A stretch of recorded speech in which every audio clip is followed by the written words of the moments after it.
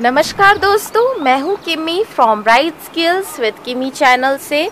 और एक बार फिर से आप सभी का हमारे चैनल में बहुत बहुत स्वागत, अभिनंदन। सो so, दोस्तों आज का जो टॉपिक है वो आप लोगों ने पढ़ ही लिया होगा और दोबारा से मैं एक बार और बताती हूँ कि मैं आज आप लोगों को कुछ ऐसे प्लान बताऊँगी जो कि सीजनल होते हुए भी आप उन्हें पैरेनियल ऐसी कंडीशंस दे सकते हैं जिसमें कि वो प्लांट्स पैरेनियल आपके गार्डन में रह सकें। तो दोस्तों अ, कई चीज़ों में ऐसा होता है कि अ, कई प्लांट्स में ऐसा होता है कि हम उसे अगले साल तक सेव करके रख सकते हैं। अब एग्ज़ाम्पल क्लांचो हो गया डाइंथस हो गया गजानिया हो गया पेपर प्लांट हो गया, इन सबको आप बचा सकते हैं दोस्तों। ये आपके नेक्स्ट ईयर पे भी आपको फ्लारिंग दे सकते हैं। हॉली हॉक हो गया।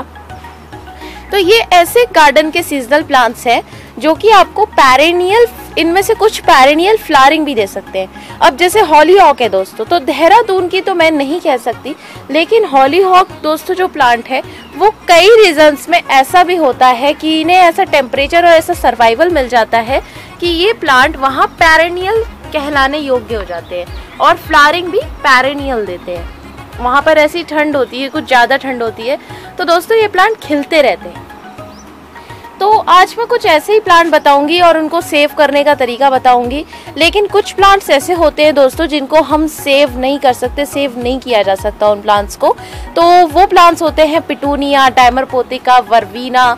इन सबको सेव करना बहुत टफ है और इवेंचुअली सेव हो भी जाए नेक्स्ट ईयर तो नेक्स्ट ईयर जैसे ही उनका टाइम आता है और वो प्लांट अपनी लीव्स निकालने में ज़ोर लगाता है, वो वहीं पर वो प्लांट खत्म हो जाता है।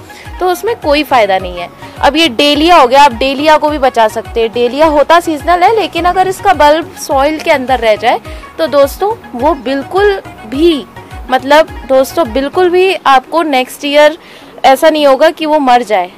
वो आपको खूब सारी लीव्स देगा और ढेर सारे फ्लारिंग भी देगा।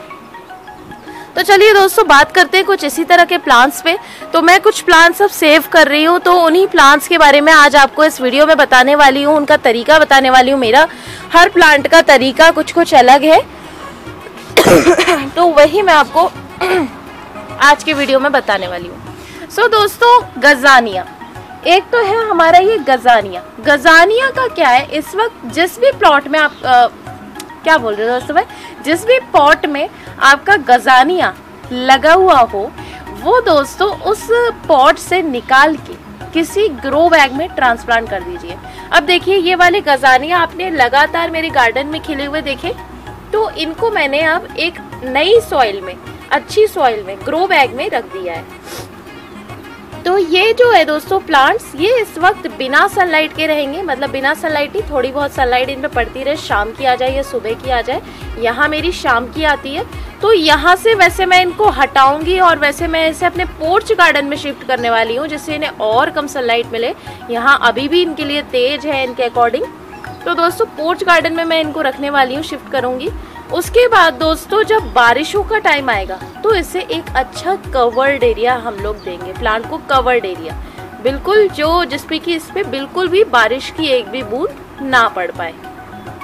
तो गजानिया को सेव करने का तरीका दोस्तों यही है कि बारिश से बचाइए और धूप थोड़ी सी कम लगने दीजिए, अब प्लांट जल सकता है। ये तो ऐसे प्लांट है दोस्तों कि मेरे अभी तक भी खिल रहे हैं, मैंने ट्रांसप्लांट भी कर दिया, लेकिन अभी भी इनमें इतना ज़ोर है, इतना दोस्तों, इनमें दम बचा है कि ये अभी भी फ्लावर्स को खिला रहे हैं। बिना धूप के भी यहाँ पर धूप कम आ रही है तो अभी भी इनकी लीव्स जो है, वो ग्रीन है। अभी भी ग्रीनरी इनमें बरकरार है। हल्के हल्के जलने लगे थे, तभी मैंने इनको हटा दिया। चलिए दोस्तों नेक्स्ट प्लांट नेक्स्ट फ्लावर मैं आपको दिखाऊँगी, डेलिया का। तो डेलिया को बचाने का तरीका दोस्तों बड़ा ही कॉमन है। कई लोग डेलिया को बचाने का तरीका जानते भी हैं और कई लोगों को नहीं भी पता होगा। तो डेलिया का क्या होता है दोस्तों? डेलिया का और हॉलीहॉक का तरीका सेम है। इसको यहाँ से जब ये प्लांट खराब हो जाए तो बिल्कुल इस एरिया से, यहाँ से दिख रहा है आपको, ये इस एरिया से बिल्कुल नीचे वाले, निचले छोर से इसको कट कर दीजिए।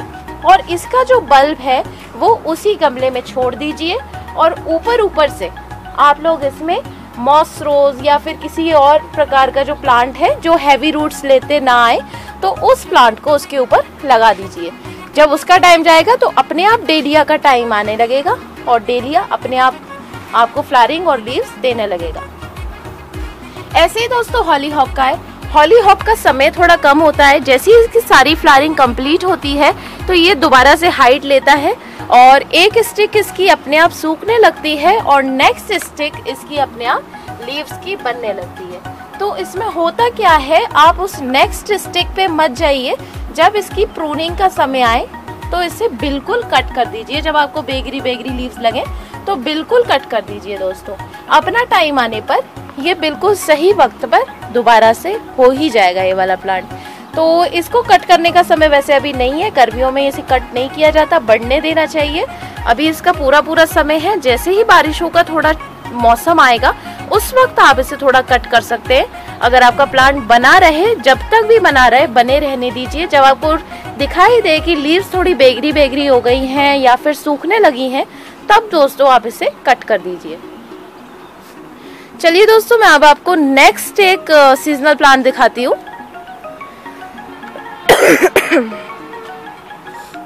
सो so, दोस्तों नेक्स्ट सीजनल प्लांट है हमारा डाइंथस।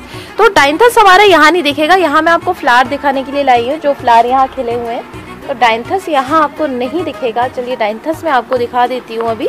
पहले आप फ्लावर्स देख लीजिए। देखिए यहाँ पर ब्लैक रोज यहाँ खिलने लगा है। ये देखिए। और मतलब ये ब्लैक रोज दोस्तों मैं इसको कहती हूँ तो आपको लगता होगा ये तो रेड और महरून रोज है। ऐसा है दोस्तों कि ये इसका नाम तो ब्लैक रोज ही है, देखिए। क्योंकि इसमें ये जो ब्लैकिश आती है ना महरून के साथ, इससे, बस ओनली इससे इसका नाम पड़ा हुआ है ब्लैक रोज, ये देखिए। तो ये ब्लैक रोज ही है, लेकिन महरून भी कह सकते तो ये देखिए दोस्तों, यहाँ पर ये दूसरा रोज है, कोरल कलर का रोज है, और दोस्तों ये वाला यहाँ पर फ्लोरल रोज है। सारे फ्लोरल रोज यहाँ पर खिले हुए हैं और यहाँ पिटूनियाज है सारे।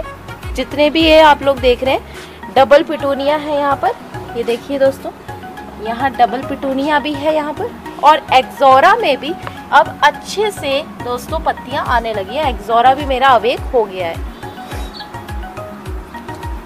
तो चलिए दोस्तों, अभी मैं आपको डाइंथस दिखा रही थी तो मैं अब आपको यहीं से डाइंथस दिखाऊँगी। थोड़ा जूम करूँगी जूम इन करूँगी। जूम इन करके मैं आपको दिखा रही हूँ।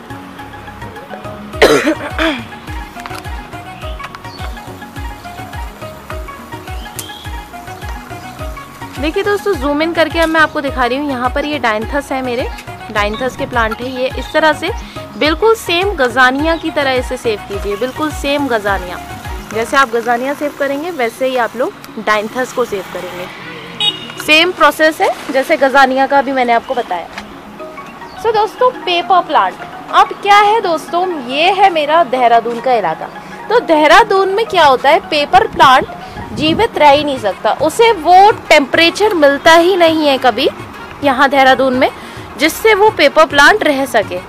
वैसे अगर मैं रखती तो रह सकता था, लेकिन मेरे पेपर प्लांट की कुछ आंधी तूफ़ान की वजह से दोस्तों आपको देखा होगा आपने, जड़ें खराब हो गई थी, जड़ें निकल गई थी, उखड़ सा गया था वो प्लांट तो इसीलिए वो सूखने लगा।